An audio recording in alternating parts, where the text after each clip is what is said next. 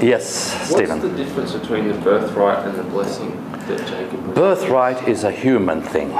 Land. Uh, it is, it is um, you know, what um, uh, the head of the family legally from a human point of view.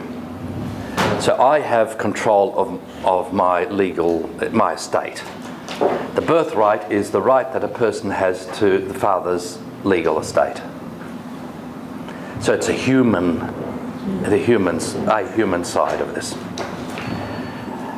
Now, the Kleinig principle is look for the unexpected, and here we come to another unexpected thing.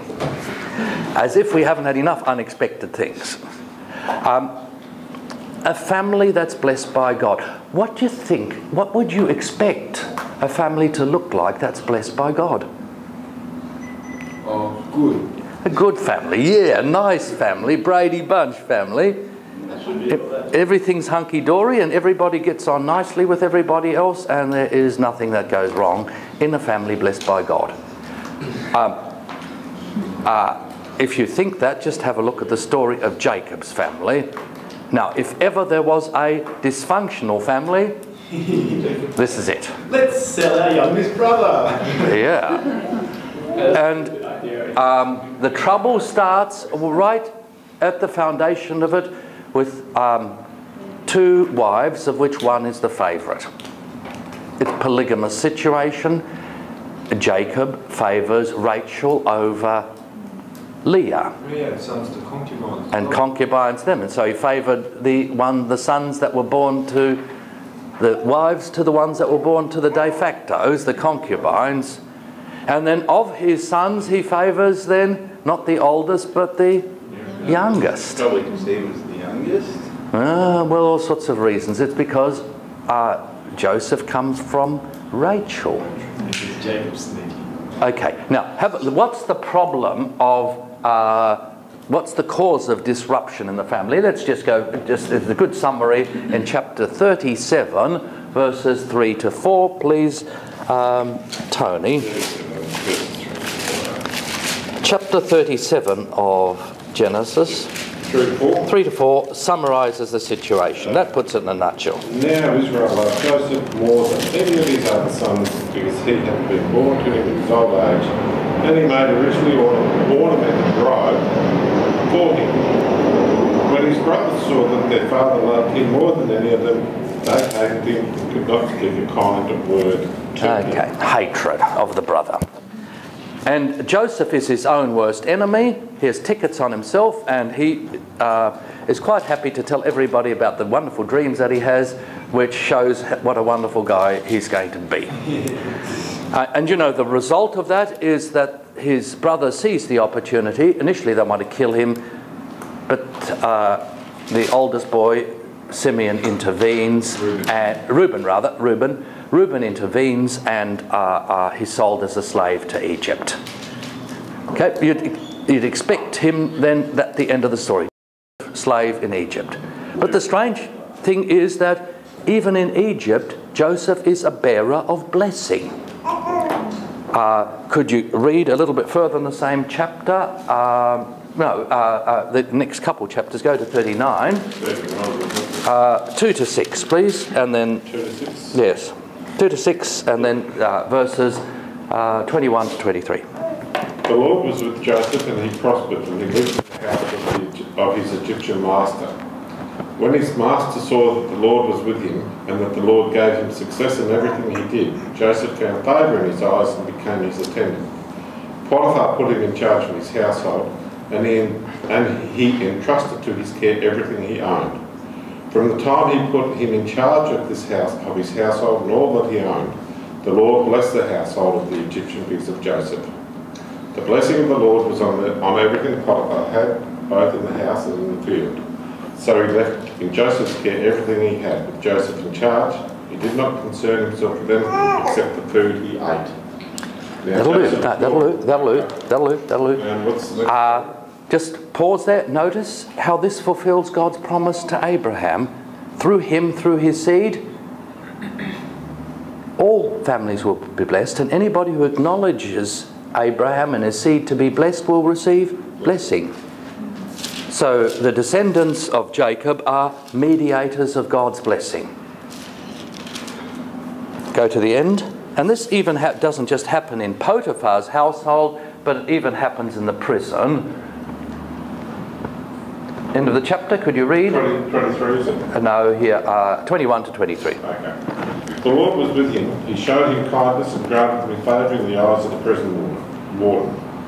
So the warden put Joseph in charge for all those held in the prison, and he was made responsible for all that was done there. The warden paid no attention to anything under Joseph's care, because the Lord was with Joseph and gave him success in whatever he did.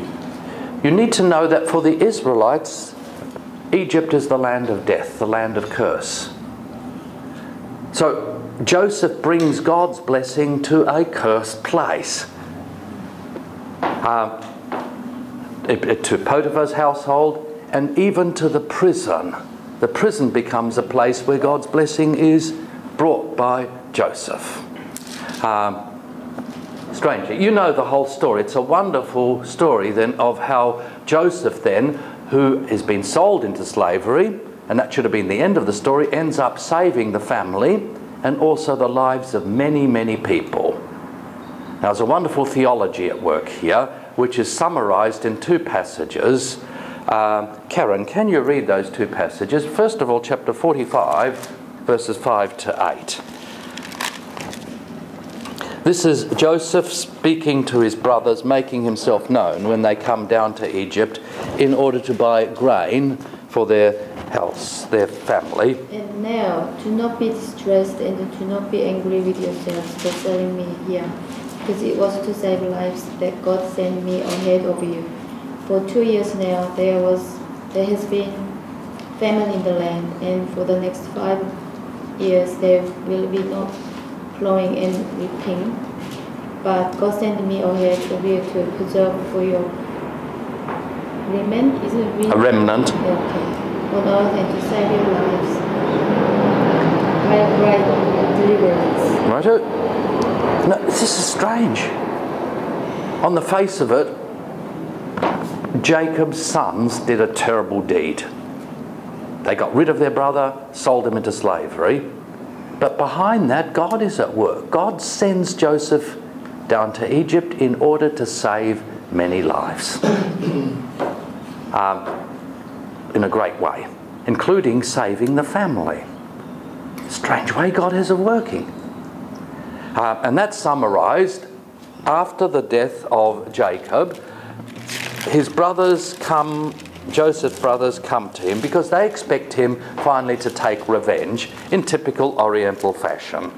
Uh, chapter 50, verses 19 to 20. Well, we better read it from 15 through to 20 to get the whole context. Please, uh, Adele. When Joseph's brothers saw that their father was dead, they said, What if Joseph holds a grudge against us and pays us back for all the wrongs we did to him? So they sent word to Joseph, saying, Your father left these instructions before he died. This is what you are to say to Joseph. I ask you to forgive your brothers the sins and the wrongs they committed in treating you so badly. Now please forgive the sins of the servants of the God of your father. When the message came to him, Joseph wept. His brothers then came and threw themselves down before him. We are your slaves, they said. But Joseph said to him, Don't be afraid. Am I in the place of God? Am I in the place of God? You intended to harm me. Now, but God intended it for good to accomplish what is now being done, the saving of many lives. So then don't be afraid. I will provide for you and your children. And he assured them and spoke kindly to them. The key verse here is verse 20. You intended it quite literally for evil, but God intended it for good. How? To save the lives of many people. God's blessing works in a strange way in the families that He blesses and people that He blesses. He doesn't prevent evil from happening, but what does God's blessing do? Uses it for something good. He what? Uses it. He uses evil to bring good. He does the impossible thing. No human beings can bring good out of evil. Out of evil, from a human point of view, you only get evil. That's the law of human dealings. God does something astonishing. His blessing doesn't stop evil from happening, but it brings good out of evil. He uses it for his own purposes. Now, how did God bring good out of evil? The evil was those that family conflict, going right back to the very beginning, all the problems with Jacob, and then his two wives, and the conflicts within between the boys. Out of that evil, and that also then led to in, in Egypt. Remember that uh, Joseph was uh, uh, his master's wife tried to seduce him. He refuses to go along with her, and a trumped up charge, he gets sent into prison. Terrible evil deeds. Um, the worst kind of things. And yet God brings good out of this evil, not just for Joseph, and not just for his family, but for Egypt and the surrounding nations. Now, where do you see this most dramatically? What is the most evil deed that humanity has ever done? So it's the crucifix. It's the crucifixion. And yet, where is the place where God has brought the greatest blessing for every single human being? It's the crucifixion. Um, Joseph is points, the story of Joseph points to the coming of Jesus. In a little scale here, God's working out what he's going to work out on a large scale eventually. Lastly, take notice then in terms of blessing that whereas previously blessing had gone from father to one son, with Jacob blessing goes to all the 12 sons of Jacob. So the blessing goes out. Um, but there are special blessings given to Judah, the blessing of kingship, and then there's a special blessing that's given to Ephraim, the younger son of Joseph, who gets the best part of the land, the most fertile part of the promised land. So they get special blessings, but every one of the 12 sons is blessed. Now, let me summarize the theology of, the, of, uh, of Genesis. Um, Genesis is the book of blessing. And take notice then how God's blessing um, works by grace and not by law. God transmits his blessing to Abraham and his seed through his word of promise. Now, normally, in human affairs, blessing comes through family, land, custom, law. Um, now, you, uh, you, would understand that that's a very strong part of Korean culture. Now, blessing comes through your family, your culture, custom, law, all that kind of stuff. Uh, but here you get a new kind of blessing that doesn't come through law but comes through promise, grace. And look at the way it works. It's given apart from family and ancestors. It's not through the spirits of the ancestors who bring blessing to Abraham and his descendants. The blessing comes apart from Abraham's possession of the land or any land. He leaves or land. The only land he owns is a cemetery. So it's apart from land. Thirdly, blessing comes apart from natural fertility and procreation. Very, very important. Because that's normally the way we see things in human affairs through procreation, through having children, blessing goes. Notice all the infertile people here in this story. Uh, next, blessing comes apart from the law of primogeniture. Primogeniture is firstborn son. Now, normally blessing goes in human affairs from father to, not to daughters, but to sons. And which son? The oldest son, first one. That's a very strong part of Korean culture, isn't it? Yeah, yeah and it's part of all traditional cultures. Right? That's the natural way, but notice here that God bypasses this to give his blessing. Um, and blessing comes apart from human plans and desires despite what all the things that Sarah does and Hagar does and uh, uh, Jacob does to try and manipulate God's blessing, God's blessing still continues apart from human attempts to grab hold of it and manipulate it to advantage. Most significantly, blessing goes despite human sin. Look what happens in Jacob's own family. The sin that's committed there, God's blessing still works despite human sin. Or even blessing, God's blessing works through human sin. Now, that is so countercultural, it's so uh, astonishing that it, it's almost impossible to believe and to hold on to. Uh, blessing works through sin, despite sin. Uh, it's a matter of grace. Any questions on that? The theme of blessing. Please make an effort to get your head around it. The whole book of Genesis has to do with blessing, that's its main theme um, the blessing of all humanity in uh, creation, the blessing of all human beings after the fall, but then there's the blessing of Abraham and God's covenant to bless Abraham and through Abraham to bless the whole human race. Okay, now what are the main themes of Genesis? Here's my attempt to pin them down. First of all, the theme of creation. God creates the world, but doesn't stop there. He creates all the nations of the world and he creates Israel. So, what part of Genesis deals with creation? First. Oh. Brendan? Dylan. Dylan, sorry, sorry, sorry. Yeah, So close. Dylan? What, what, what part of Genesis deals with creation? the first part. Wrong. What do you mean by? Yeah. It's the whole of Genesis deals with creation. You mean creation of the covenantal blessing? That's right. God create doesn't just create the universe and humanity, but He creates then after the fall nations, and then after that He creates Israel. Trick questions. Watch out. Um, whether you were listening or not, you see, that was my, uh, and whether you'd understood what I said. okay. Yes. No, not trick question. I don't want to find out, uh, catch you out. But notice that the whole book has to do with creation. And uh, the second big theme is the importance of God's Word.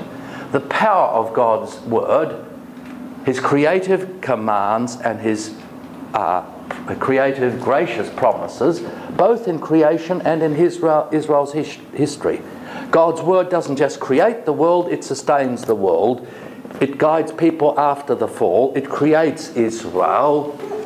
It sustains Israel. So God's Word is at work in creation, history, and in Israel's history.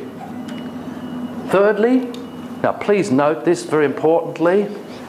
There's two covenants that God makes in Genesis the first with Noah, and the second with Abraham.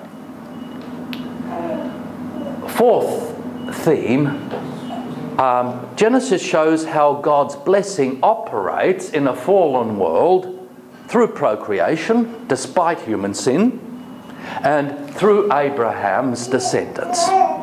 So God's blessing works even for Adam and Eve, even though they've sinned. It works through uh, Cain, even though Cain is a murderer. And uh, so Cain has children. Abra- Adam and Eve have children. The blessing still works. But that blessing works in a special way then through Abraham and his descendants. Uh, the next one is a minor theme for us, but very important for the Jewish people. Uh, Genesis shows the origin of the most important sanctuaries in the Promised Land um, at the places where God appeared to the patriarchs. If you want to know which are the holy places in Israel, once the people enter the land, read the book of Genesis and you'll find the founding stories of those sanctuaries, those holy places, the places where people have altars where they meet with God. Now, um, take notice, many of these places didn't have a temple. A temple is a building around a holy place. What they have is it's a sacred place that's demarcated and it's focused around an altar. Most of these just had, you know, were open air sites with an altar. Uh, in fact, probably archaeologists have excavated um, the altar, or later altar at Shechem, the site of that. Lastly, and that's the theme we've just touched on that. Genesis shows God's hidden providence, God's hidden way of doing good uh, by bringing good out of evil in human affairs. It's hard to read the book of Genesis and to moralize from it. Because the book of Genesis is a, a story not just of God's creation, but of also of human sin. And what's most astonishing, there's no attempt to present Abraham and Isaac and Jacob as moral examples, as paragons of moral virtue. God brings good out of evil, works despite human sin, even the sins of his own chosen people. Well, what's the purpose of the book of Genesis? Notice that Genesis means beginning, origin. Genesis is a book of beginnings that shows four things how the world and Israel was created by God's word and upheld by it. And there's two words there the performative commands. It says to Abraham, Go, be a blessing, walk before me, those commands. But then there's also the promises. Secondly, it shows how God's blessing works constructively, creatively, even in a fallen world. It shows Israel's place among the nations, uh, place in the world, and in connection with more distant nations and the closer nations. It helps the Israelites to identify who they are and how they fit into the scheme of things. Lastly, and very practically for the ongoing story, it shows how the Israelites came to live in the land of Egypt. Don't remember at the very end, you have Jacob's family moving from the land of Canaan, which had been devastated by drought, into Egypt, which was much more secure because of the Nile um, uh, and the water from the Nile. Okay, time. We've got time for a few questions if you want some. You got your heads around all that? Right, just one preliminary thing to pick up before uh, we take a break and go to chapel, and as an introduction to what follows. Um, big picture stuff. The Pentateuch is divided into five books. Right? Those five books are not completely separate from each other, but they tell an ongoing story. There's a narrative framework that holds this together. And the narrative framework is basically a story of a journey from here onwards. Um, how does it work? It's the story of how the Israelites came from Egypt to the promised land. Uh, so, and what follows Exodus, Leviticus, Numbers, and Deuteronomy, the book that you're looking at. What holds that together is a narrative, a story. And that story is the story of a journey.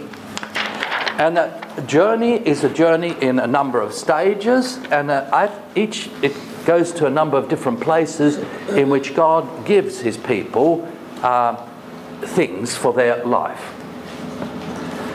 So Genesis ends with the Israelites where? In Egypt. In Egypt. Exodus begins with the story of how the Israelites left Egypt and came to which place? Sinai. Sinai. Okay, that's the first journey. And then there's a huge amount of material as uh, uh, which is located at Mount Sinai. So from Genesis chapter 20 through to Numbers 10, which includes the whole of Leviticus, you have material which God gave, laws, promises, things that God gave to his people at Mount Sinai. That's the first location. Then you get the second journey um, from Sinai, down the Sinai Peninsula, to a place called Kadesh. Kadesh Barnea, which is down in the Negev. Let me get my map. I'll put it away. How about that? No, I don't have it. If you can imagine, Egypt being here, Sinai Peninsula there, Dead Sea there, Mediterranean across here, uh, Jerusalem's here, it's down here.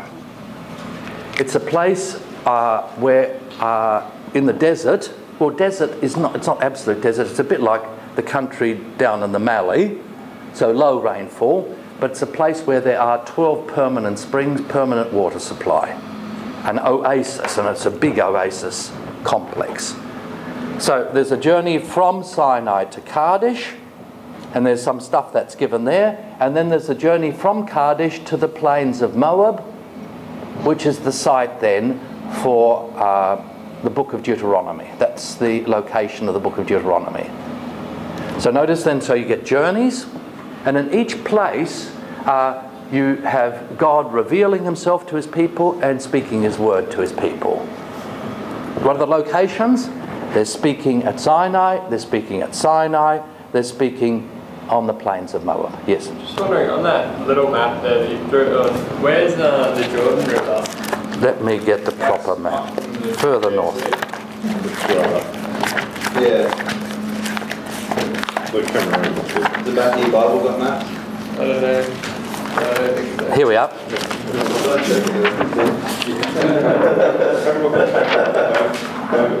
Okay. Here's Egypt. Sinai Peninsula, Mount Sinai's down here probably. Now notice all these locations are hypothetical, we can't be sure of them. Kadesh is up here, where that black dot is. Now the strange part of the journey is that the, uh, they, people wanted to go straight north up this way, uh, but they were blocked, and so they had to go a roundabout way into uh, Edom and Moab and to come across from what's day, present day Jordan. So do you see that there? This is Sinai, this is Kadesh, plains of Moab, across the Jordan from Jerusalem. So a, you have a journey and three significant locations uh, in that journey. Or four if you start off from Egypt. So Egypt to Sinai, Sinai to Kadesh, Kadesh to plains of Moab. Now, what's most significant is that the Pentateuch finishes before the journey reaches its goal. What's its goal? The promised land, or it looks as if it's the promised land. That's what it looks like, but in fact, the journey doesn't end with the promised land because the Israelites never take possession of the whole of it ever in their history, even to the present day. So now, uh, when we come to Exodus, you need to see that that tells a certain part of this big picture, this story. Okay? Chapel.